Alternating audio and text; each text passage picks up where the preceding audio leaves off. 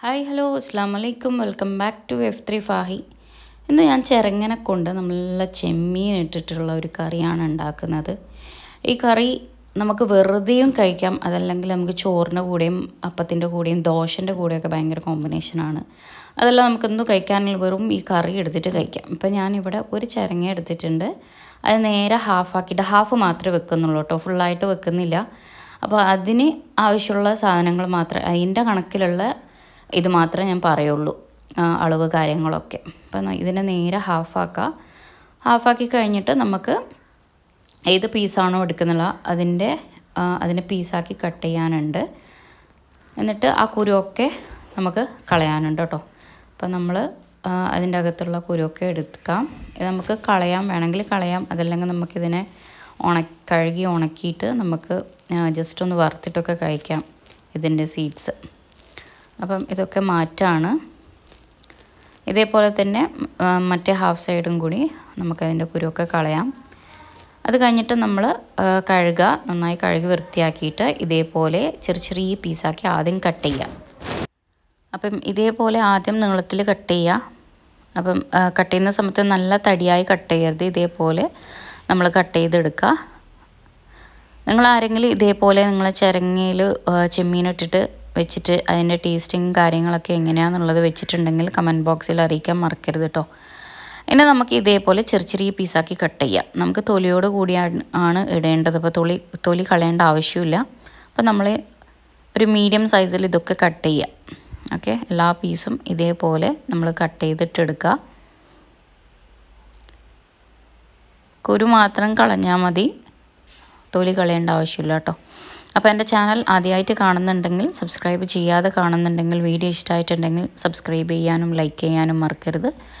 Video ഇഷ്ടമായിട്ടുണ്ടെങ്കിൽ share ചെയ്യാനും ഫ്രണ്ട്സിനൊക്കെ ഷെയർ ചെയ്യാനും മറക്കരുത്. അപ്പോൾ അത് ഏകദേശം ഇത് ഇതേപോലെ ഇത്ര സൈസിൽ വേണം നമ്മൾ കട്ട് ചെയ്തെടുക്കാൻ വേണ്ടിയിട്ട്. ഇനി നമുക്കിതിനെ എല്ലാം ഒരു പാത്രത്തിലേക്ക് മാറ്റാം കേട്ടോ. അപ്പോൾ ഏകദേശം നമുക്ക് ഇത്ര കിട്ടിയിട്ടുണ്ട്. നമ്മൾ നേരെ ഹാഫാണ് എടുത്തിട്ടുള്ളത്. ഇനി നമുക്കിതെല്ലാം ഒരു പാത്രത്തിലേക്ക് ഇട്ട് കൊടുക്കുക നമ്മൾ ഏത് ചട്ടിയിലാണോ ഇട്ട് കൊടുക്കുന്നത് ആ ചട്ടിയിലേക്ക് ഇട്ട് കൊടുക്കുക അത് കഴിഞ്ഞിട്ട് അതിലേക്കൊരു മുക്കാൽ ടേബിൾ സ്പൂൺ മുളക് പൊടി ഇട്ട് കൊടുക്കുക ആവശ്യത്തിനുള്ള ഉപ്പ് കൂടി ഇട്ട് കൊടുക്കുക കേട്ടോ.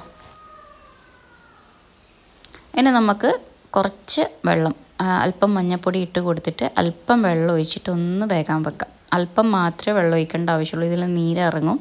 ഇനി നമുക്ക് വേണ്ടത് അരമുറി തേങ്ങ ചെറിയ കഷ്ണം ഉള്ളി ഒരു നാലഞ്ച് പച്ചമുളക് അതും കൂടി ഇതിനകത്തേക്ക് ഇട്ട് കൊടുത്തിട്ട് ഇനി നമുക്ക് നല്ല നൈസായിട്ട് ഒന്ന് അരച്ചെടുക്കാം.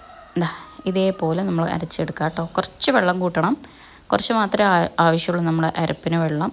പിന്നെ നമ്മൾ ഇത് നല്ല ചൂടായ നമ്മൾ തിളക്കുന്ന കറിയിലേക്ക് വെച്ച് കൊടുക്കാം. അപ്പോൾ നമുക്കിതിൽ ജീരകമോ എണ്ണയോ ഒന്നിന്റെ ആവശ്യമില്ല നമ്മൾ ജസ്റ്റ് ഇതേപോലെ മാത്രം വെക്കുക ഉണ്ടാക്കുക അങ്ങനെ നല്ല പാങ്ങിൽ ഇത് തിളച്ച് വരണം. അപ്പം നല്ല മണമൊക്കെ വരാൻ തുടങ്ങി. നല്ല നമ്മുടെ തേങ്ങ ഒക്കെ നമ്മുടെ തേങ്ങേന്റെ പച്ചപ്പൊക്കെ മാറിയതിന് ശേഷം നമ്മൾ അതിലേക്ക് ചെമ്മീൻ ഇട്ട് കൊടുക്കാനുണ്ട് കേട്ടോ. ഞാൻ വളരെ കുറച്ച് പൊടിച്ചെമ്മീനാണ് ഇതിന് കൂടുതൽ ടേസ്റ്റ്. വലിയ ചെമ്മീനിനെ കാട്ടി കൂടുതൽ ടേസ്റ്റ്. ചെറിയ ചെമ്മീനാണ് കേട്ടോ. അപ്പോൾ നമുക്ക് ചെമ്മീൻ ഇടാതെ കഴിക്കണമെങ്കിൽ ഈ സമയത്ത് മാറ്റിയെടുക്കുക. അതെല്ലാം നമുക്ക് ചെമ്മീന്റെ കൂടി ഇഷ്ടമാണെങ്കിൽ നമുക്ക് ഈ സമയത്ത് അല്പം ചെമ്മീൻ ഇട്ട് കൊടുക്കുക.